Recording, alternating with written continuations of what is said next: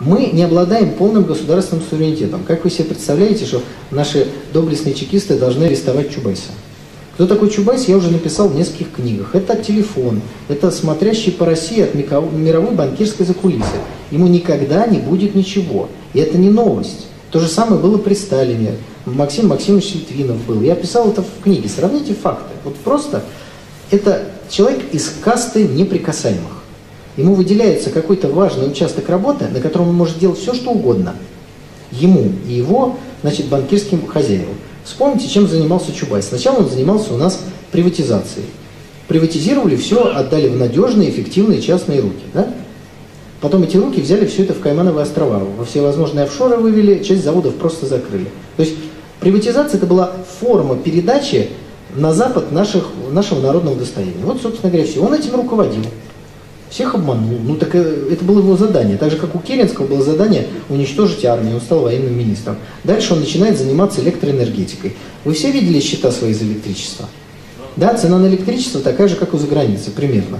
Почему? Потому что взяли, поделили единую энергосистему, которая была государственная, поделили под предлогом, что придут инвестиции. У них всегда идут инвестиции. Это такая вот, э, значит, отговорочка для слабоумных.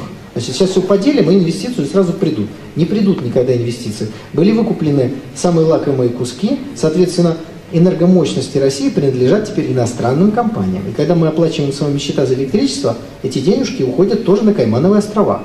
Они не в России они работают. Ну, я не говорю везде, но во многом. Поэтому тарифы такие высокие.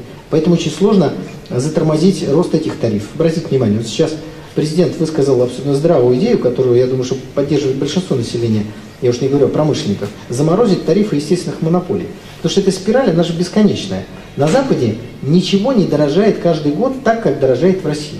Нет там, чтобы на 8, на 10 процентов дорожали тарифы, электричество, там, газ, не знаю, все, все. Такого нет. В итоге там инфляция небольшая. Потому что если все у вас дорожает, у вас все начинает раскручиваться. В итоге государственная компания, например, «Газпром», она старается как можно дороже продать всем газ, что приводит к э, удорожанию всей продукции и неконкурентоспособности всей экономики. Ну, утрированно так говорю. А логика-то должна быть другая. Зачем «Газпрому» прибыль? Ну зачем «Газпрому» прибыль? Чтобы заплатить своим акционерам 50% там, или 48% из которых это частные лица и фонды, да пусть они сидят без э, дивидендов. Нам с вами что с этого? Нам надо, чтобы цена на газ внутри России была такая, чтобы развивалась промышленность России. Это касается ведь не только газа, всех остальных. То есть, когда у государства цель прибыль, тогда разрушается это самое и государство. Поэтому дальше Чубайс у нас чем сейчас начал заниматься после энергетики? Он начал заниматься новыми технологиями. Да, в виде новых технологий нам продемонстрировали старый китайский, значит, этот самый какой-то э, гаджет, в котором можно в школьниках читать. Я пока больше не слышал ни о каких нанотехнологиях. Вот, собственно говоря, и, и, и всего, да. Чубайсу выделяется некая сфера, которой он занимается. Это, ну это, это очень, вот многим не нравится это, но это, это дань. Это, вы знаете, сидели в Москве баскаки раньше, они собирали дань. Вот Чубайс – это их представитель.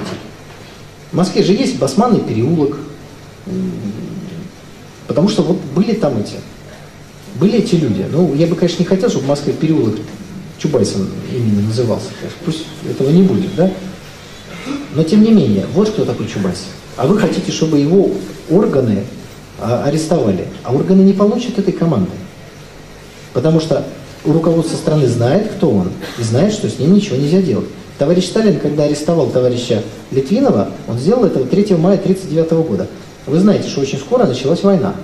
Просто Сталин знал, что дело идет к войне, и только накануне этого пошел на этот решительный шаг. Но если вы хотите подробно ознакомиться э, с фигурой Литвинова, так сказать, к вам помощь в интернете, моя книга «Национализация рубля», там целая глава этому товарищу посвящена. Там просто другого ответа на его поведение, на его Э, жизни, жизнедеятельности, его отношение к Сталину просто быть не может.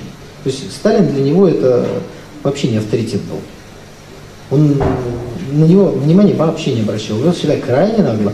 Были доказательства, что, ну представьте, его потом назначили послом США во время войны.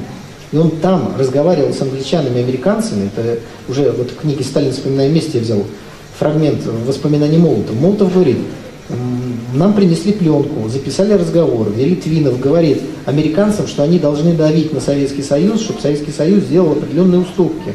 И что надо давление очень серьезное оказывать. Ну что это такое? Нормальный посол такой. И его автор книги спрашивает Молотова, вы что сделали с Литвиновым? Молотов говорит, ничего не сделали. Не пришло еще время. Ну, как-то так вот. Ну, вы понимаете, что если при Сталине человек занимается явным предательством, ему ничего не делают, ну, наверное, это такой человек, с которым нельзя ничего сделать, даже товарищу Сталину.